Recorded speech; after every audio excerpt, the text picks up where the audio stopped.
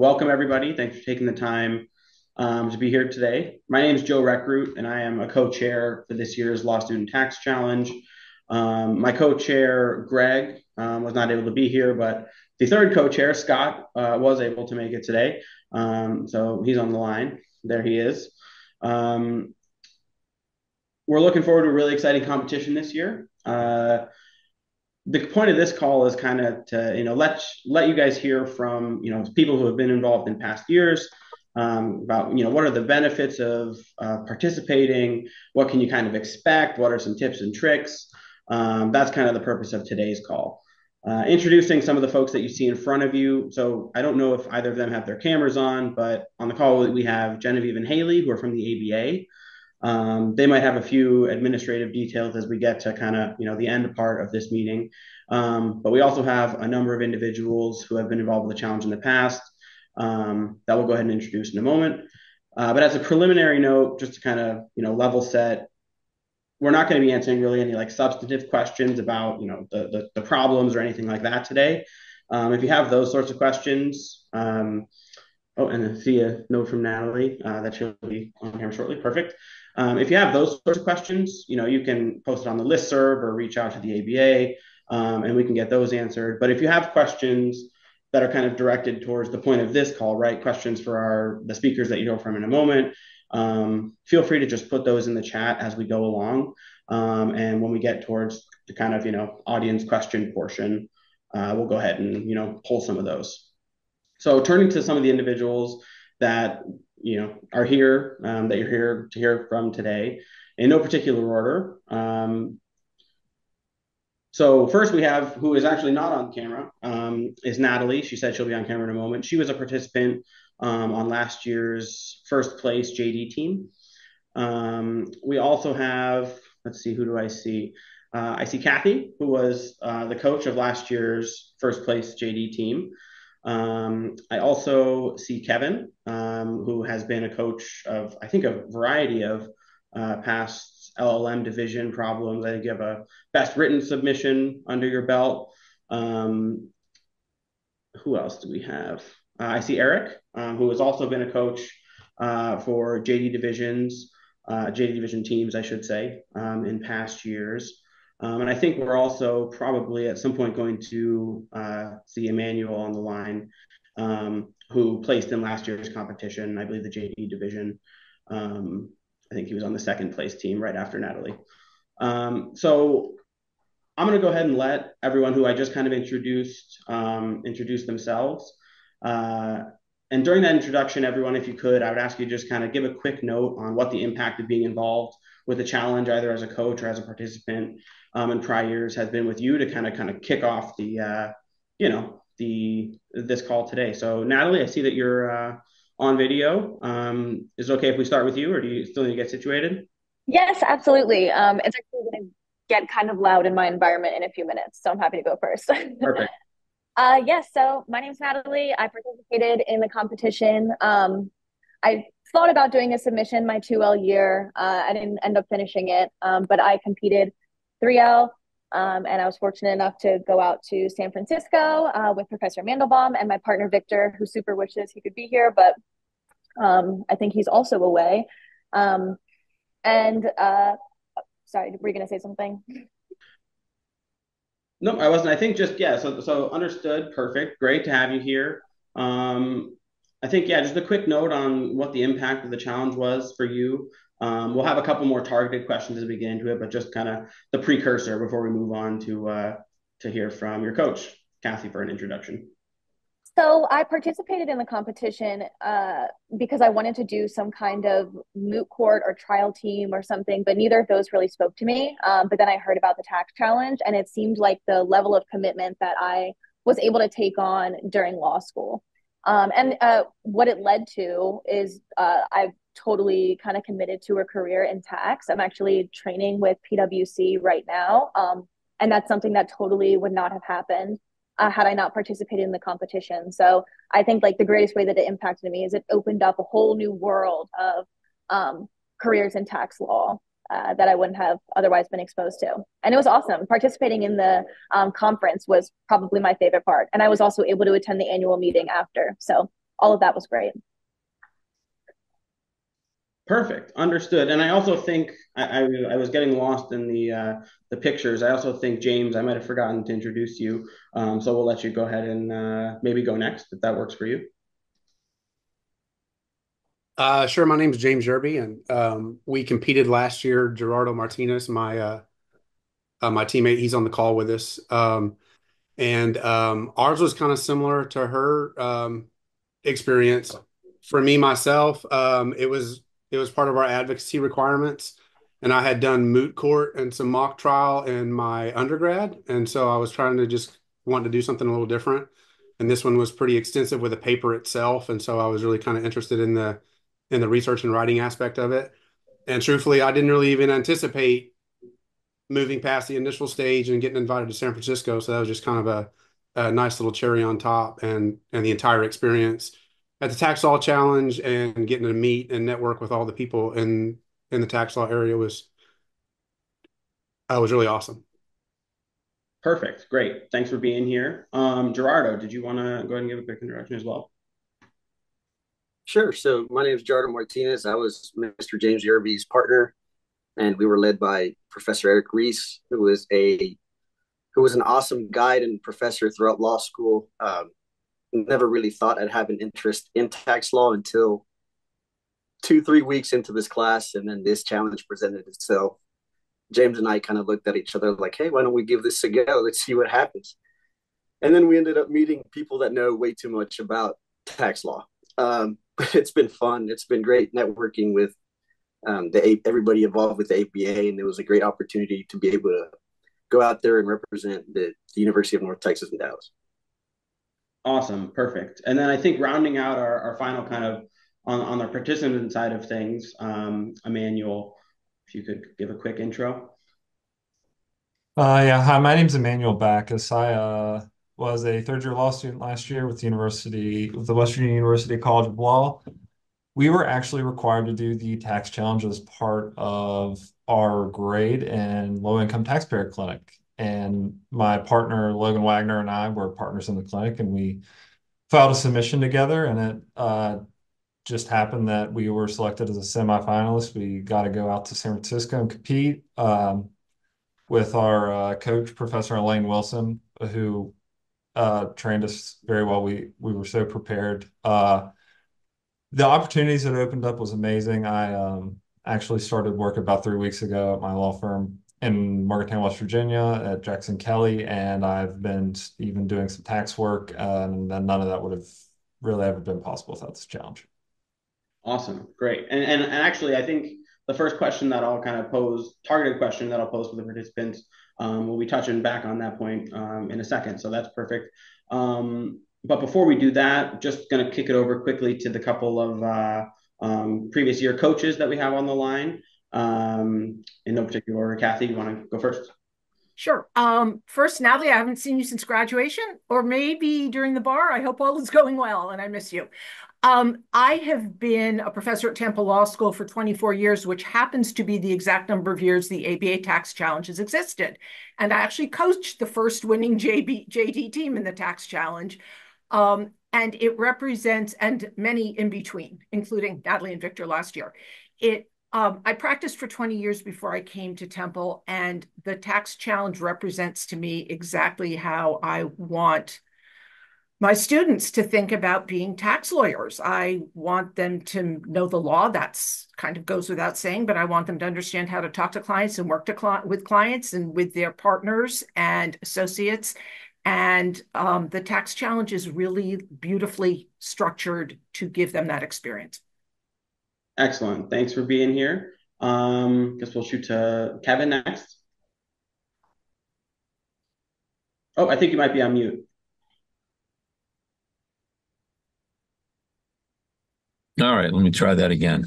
Uh, so, name is Kevin Wall. I'm at uh, Boston University Law School. I've been a longtime practitioner and been teaching as an adjunct for about 20 years.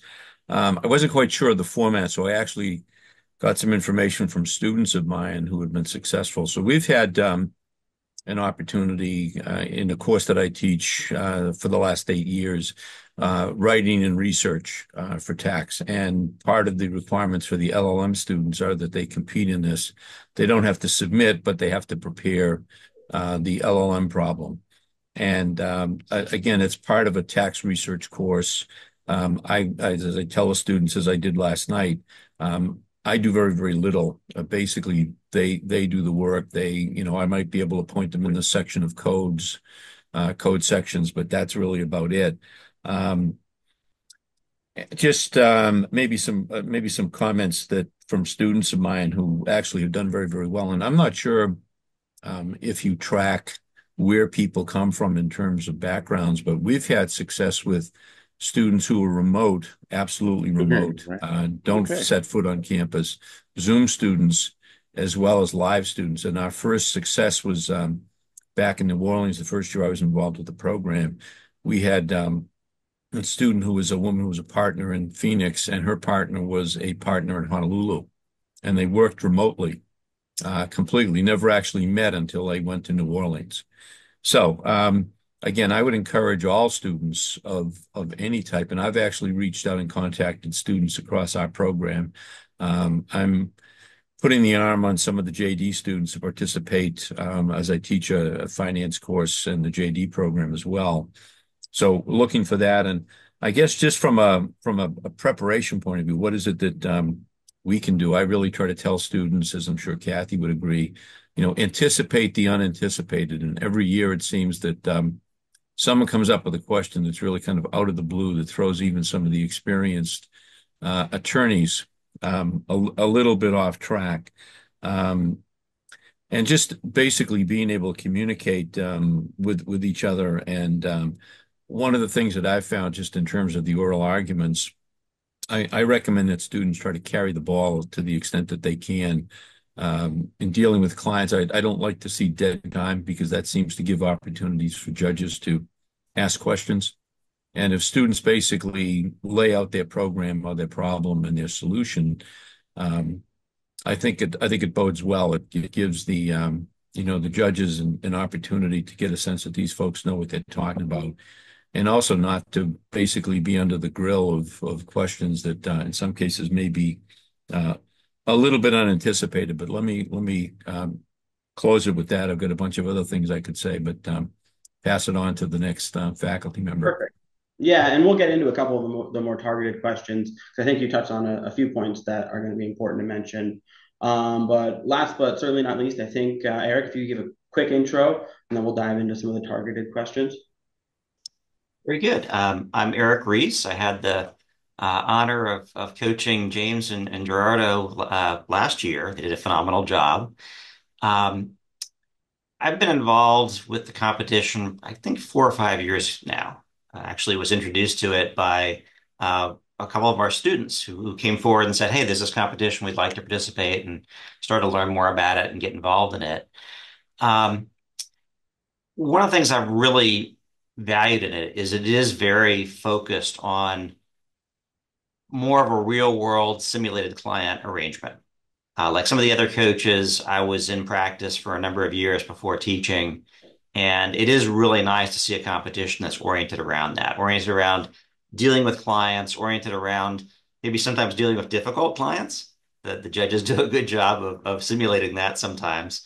Um, and that's that's just been a, a really good experience. I know uh, I've had students participate for several years now and just had a a, a great time with it. And I think gotten something out of it that they wouldn't have gotten or gotten different things out of it than they would have gotten from you know mock trial or moot court or, or some of the other competition opportunities that folks have in law school. So uh, for those of you who are competing, I think you're going to get a, a, great experience from this. Awesome. Thanks so much. Um, good to have you all here. Um, so as I said, I think that kind of wraps up. And you know, everyone knows who everyone is now. Um, I think the first question that I was hoping to pose was for you know the past participants, um, and it's really kind of a, a, question about the impact that the LSTC had on kind of your career or your path or you know what you're what you're planning to do. Um, because I know personally for me, for example, like uh, when I did the competition, which was longer ago than I care to admit. Um, you know, th- that gave me work product that I was then using in interviews. I was saying, hey, look, I, you know, was here's this hobby loss analysis that I did on this, uh, you know, for this horse farm that I was in the problem, I think, uh, that we had. Um, so, you know, opening it up maybe in the same kind of order that we did the intros, kind of what has been the kind of real world impact of your participation in the challenge? So, like Natalie, you might be first.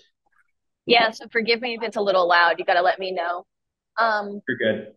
But um, so the summer prior to me participating, again, I didn't have any attention on tax. I had taken maybe two or three tax courses at that point. Um, not that anything other than tax one really contributed to, um, I think, my success in the challenge. Um, but my point is, I um, wasn't planning to go in the tax direction. I was exploring business law in general.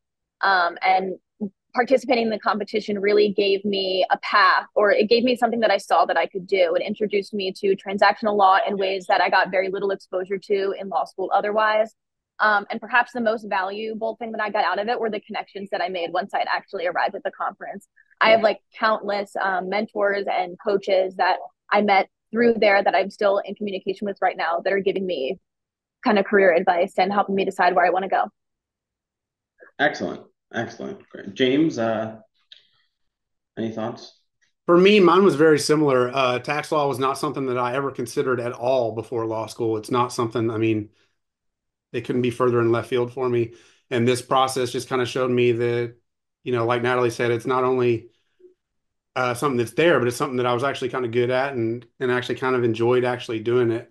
Um, and then uh, after meeting everybody at the at the event that was out there, in order to build my uh, my network and just kind of open me to a world that I never would have explored without it. And so, I mean, I don't know. Who knows? I might be a tax lawyer soon. So.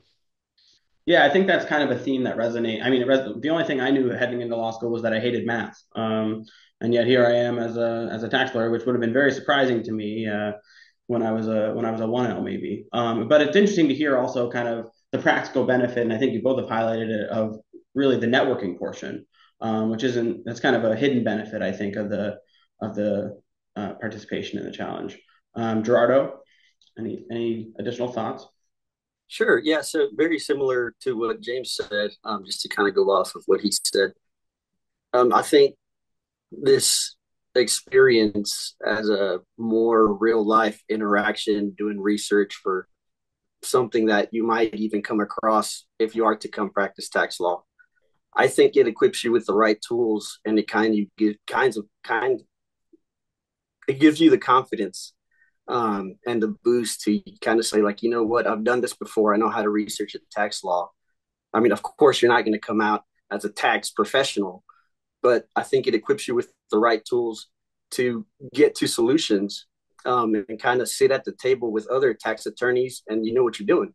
Um, so that's kind of what I valued a lot with James. Our research time was, I'd say, fun at this point, um, and it's nice.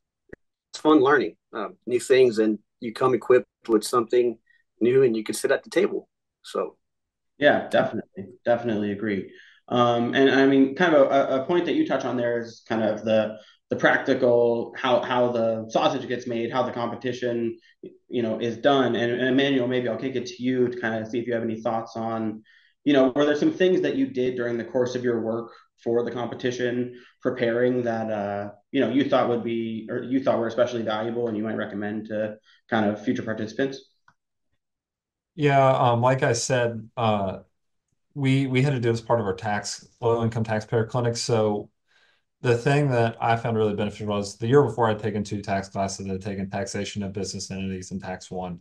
Um, the thing that really helped, I think, was that since I, Logan and I were both in clinic while we were doing it, we were able to really get that foothold in the procedural part of tax, which I think is tax procedure is something that sometimes when we address tax at law schools, on the law school level, sometimes we sometimes forget about like going before the IRS for settlement or something like that. And Logan and I had done that for a semester at that point, and you know, having that uh, procedural experience, looking into tax procedure and practice, really, I think helped us get a foothold in the more practical part of the challenge.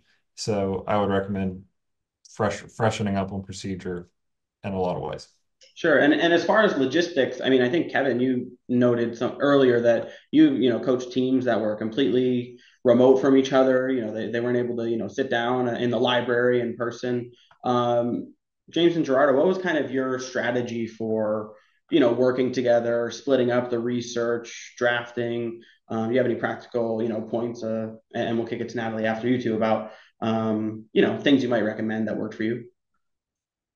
Uh, well, initially, so Gerardo and I got together initially, and we just looked over the problem itself, and then we just kind of, I mean, divvied it up as far as you know, which issues do you want, and which ones do I want, and then we kind of went to our separate corners after that, and just kind of really researched for weeks, and just kind of went through our own process as far as that goes, and then we kind of we got back together at some point, and then we just kind of talked about what our findings were, and then we uh, we came up with a schedule as far as you know what we were going to ad- adhere to as we wrote the paper.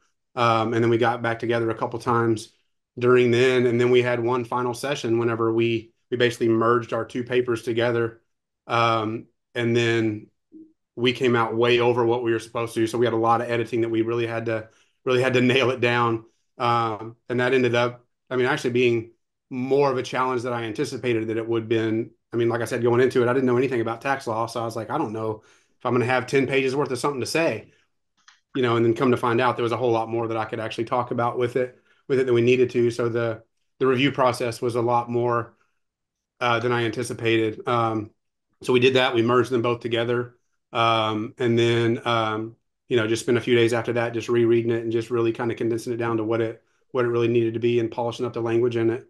Um, and that was pretty much, I mean, kind of how we went through it. So. Yeah, it makes a lot of sense. Um, Natalie, I'm not sure if you have any. You don't necessarily have to have any points. Oh, it seems like you may. Okay. I have a bunch of little tips. Okay. do it with a friend. Victor and I were friends. It made us getting together a lot easier and a lot more. Um, look at the problem early. I think our answer got so much better, especially in those last two weeks. But just the fact that we'd been thinking about the problem for two months and we were like, we knew the facts um, forwards and backwards. So the research came along as it came along, but we were prepared from the very beginning to at least start thinking about what we might need to research. Um, I guess that's it. Awesome. Yeah, I think that makes a lot of sense. And um, thinking back to when I did it, I also, you know, kind of, we just, I had a friend who I knew enjoyed the tax classes, and we were like, hey, why don't we just uh, do this? Even though it's adding to kind of a workload that we already have, it could be fun. Um, and it was. Um, okay, great. So awesome. All great points. Um, turning to kind of the coaches on on the call, uh, for any coach, you know, potential coaches um, for this coming year that might be watching, you know, can you give some insight into how? I mean, I think we talked a little bit about the why, but how you go about um, encouraging your students to participate, um, publicizing? Is it just you know you know certain students are interested in tax, or you uh, you know publishing it more broadly? kind of some strategies on on how you approach that. Uh, whoever has thoughts can just feel free to speak up.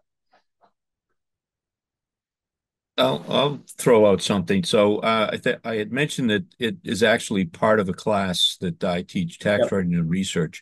So all students, and and we actually have um, MSL, which are LLM students who are not JDs. So these could be accountants and CPAs. So they obviously can't participate, but everybody has to submit within the time frame. So there's um, a group of probably 15 or 18 students that are sort of captured. Um, I also teach a class in the JD program. That this is in the LLM program, by the way. I teach a JD class, and um, I sort of start planting the seed of um, uh, of tax in their mind, and hopefully we'll get one or two, at least one team, and maybe two teams out of the JD program. So I do that by talking to other students, and I was also able to prevail upon our director to send out a uh, a blast to everyone at uh, orientation.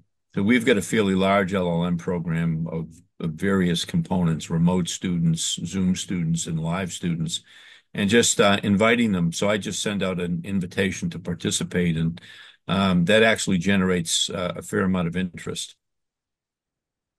So, you know, culling the the, the JDs, uh, it's required, and then just sending a blast out to the extent that one can do it to all all the LLMs. Um, Yeah, we absolutely send something to all the JD and LLM students. We have an LLM tax here as well. Um, one of the things that I'm fortunate in having here is a fabulous tax faculty. And students who've taken tax one or come here as LLM students get to know the rest of the tax faculty pretty promptly. And the tax faculty here are all big proponents of the program. So they, the, the project. So they talk it up to their students in their classes. This year in particular, the LLM questions got an area that I won't describe, but the faculty who've taught those that particular area is, will go out of their way, I think, to talk to students about it. Um, we also remind the JD students that you only have to have taken tax one to be able to do the questions. That I've read this year's question again. The the challenges here are not beyond tax one. It, there are a lot of other challenges, but the, you, the the core of taking one semester as a JD student, I think, is is enough here. Um, and we remind students, lots of students, we joke about it. They come to tax thinking tax is going to be like Brussels sprouts and they'll hate it. Then they take tax one and they actually really like the Brussels sprouts. And all of a sudden, maybe like Natalie and some of the other com competitors, they go, wow, here I am and I'm a 2L and I had no idea I was going to like tax. Or I'm a first semester 3L and I only took one class and I didn't know I was going to like tax. And this is an opportunity to test that interest in tax. Um, in addition to taking other classes. So we sell all of those things. We're doing an orientation next Monday for students who are interested. And we've already asked them to take a look at the questions. So that's how we do it. So at, at our school, we actually have a required competition. Um, this competition in particular isn't required, but our students have to do something. Um, and I confirmed fairly early on that this competition would qualify. You know, you don't. You, most people honestly satisfy the requirement with mock trial or moot court, but this this does that too, and that certainly helps. Uh, certainly helps generate interest. Um, in addition to advertising the uh, the competition to my tax students, at my school, I actually also sometimes advertise it to students in other classes too, and that's kind of a you know you have to evaluate what what you know if the other coaches you have to evaluate what what your student body is, is like and and whether there's folks that might attract. But we have um, we have an evening program at our school which attracts a lot of second career people who may have some life experience and you know have have a little more exposure to the tax world than than your average law student might.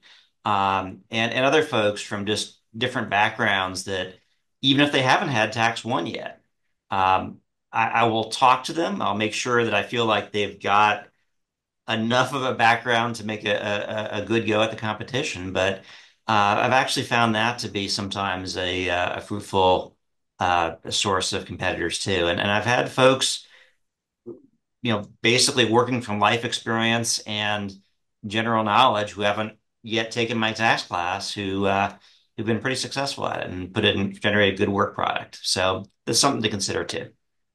Understood. And I know we're, we're up against our uh, uh, against the time limit we kind of informally set, but I just want to give you know the, the, the prior coaches you know another question I think that people on the call you know potential coaches might have is how do you are there any you know tips and strategies for approaching the actual nuts and bolts of helping students with this because you know there's obviously kind of a line to be drawn. Uh, you know, you don't want to be doing the, you know, you can't be doing the the uh, problem yourself and the analysis yourself. And so, are there any kind of tips and tricks? And you know, do you have office hours and let them just come ask you questions? You know, how does that sort of uh, work for each of you? Okay, so I'm a brand new grandmother, as Natalie knows. And one of the first lessons I learned is to bite my tongue and to bite my tongue a lot and to bite my tongue all the time. And in this competition, particularly in the first round before the semifinalists are chosen, the, the coach really can't do a lot. Um, we have tax tours of the library set up with our law school librarian so that students feel like they have a solid grounding in how to do tax research, which is not something that they've necessarily learned in tax one. Um, I talk to the teams I coach about broad. I mean, I can't talk to them about tax law. You guys have all read the instructions. There's a, a there are some really serious limitations. But I talk to them a lot about audience and who the audience is that they're addressing and what how they should approach describing the tax law to their audiences because there are two pieces of written material here. Um, that's what I do before they make the semifinals. Then once we get students who are actually traveling, that gives us the opportunity to do a lot more work with them. But at least going forward, I make sure that they know how to do tax research and um, that they have a really clear sense of who their audiences are. Excellent. So I think one other thing to encourage uh, students to look at are the archives. You know, and to see um, what's gone on in, in the past. That's, you know, that's a, a great resource. Yeah, I, I, strongly agree with that. I, I always point my students to the past past year's problem and videos and, and memos. Um, the other thing I'll add, and, and honestly, it's it's too late for this year, but it's something to keep in mind maybe if you're involved in this next year. Um, I like to spend a fair amount of time talking about preparing for this competition before the problem's released. Because I feel like if I have a session with my students then, it's I'm a lot it's a lot freer. Okay. I can talk about all the secondary sources that are out there. I can talk about methods of research. I can talk about how to approach the kinds of problems you might see without having to stress over, oh, am I saying something I'm not supposed to say? Because the problem hasn't been released yet. So I'm obviously, I'm, you know, by definition, it has to be general advice. Um, and I, and as part of that, I have, I've each year I'll usually ask uh, a research librarian uh, from our school who has a background in tax to come in and you know walk the students through the different resources you know run through a hypothetical. If you had this type of issue how would you how would you research it? And i just find that that process works pretty well. And and doing that before the problem's released again just takes the stress off everybody because we can just have this free discussion and not have to not have to worry about whether or not we're we're crossing any lines yeah that makes a lot of sense um, okay, well, great. I, I don't I want to be cognizant of everyone's time. Oh, sorry, we had a yeah, one more. Uh, Harry Mehring, uh, adjunct professor at UC Law San Francisco, formerly Hastings School of Law. In the last couple of years, um, my uh, teams have uh, made the semifinalist for the written product. And one thing that I tell them is number one, to read the problem carefully, as Natalie has said, but also that each word in that problem is there for a reason. And it could be a reason that's important, and it could be a red herring. So make sure that you address and think about each of the words in there because the whoever the authors were, at least for me, that word is in there for a reason. And then secondly, I try to meet, and it's by remote Zoom with the students once a week, um, just to make sure that they're getting along well, to see if there's any interpersonal relationship issues, um, and just to make sure they're still on track so we can just kind of keep the team running smoothly throughout the process. So those would be my comments. Excellent. Understood. Makes a lot of sense and appreciate it. Um, yeah, and so I think, sorry, we're going a little bit over. Um, so I want to kind of give this opportunity if there is anyone watching who has kind of a targeted question that they wanted to raise, they can raise that. You can raise that in the chat. Um, give a few minutes to do that. And while we're giving a couple seconds for that, um, we do want to highlight that this year's competition um, is in LA, so a lot warmer than Milwaukee, where I am in February. So you know that that that's uh, maybe a partial uh, motivator. Um, and you know, even if you're even if you're not um, you know chosen um, to be a semifinalist or something like that, we would still really kind of recommend as a law student, if you can, get to those ABA tax section meetings um, because as has kind of been highlighted today, they have a lot of benefits, the networking, just even kind of being able to go and see what people are talking about, um, what's on people's minds can be really, really beneficial. Um, and I think, let's see, I thought I saw one question come up. Um, oh yeah, is it okay to reach out with questions after the session? Definitely. Um, feel free to reach out to me. Um, looks like Natalie is also happy to uh, uh, answer some questions. Um, and you can also reach out to Genevieve um, and we'll be happy to get those answered for you. Um, so seeing no other questions, I think we can kind of draw this to a close. I really appreciate everyone's time, um, especially everyone who kind of took the time to give some insights today. Um, the prior coaches, prior participants uh, means a lot. Really appreciate it. I think the problem this year is kind of a fun one. You might recognize some themes in the in the fact pattern from some popular you know culture, and uh, I think it'll be good. Um, and really looking forward to it. So thanks everyone, um, and uh, have a good rest of your day.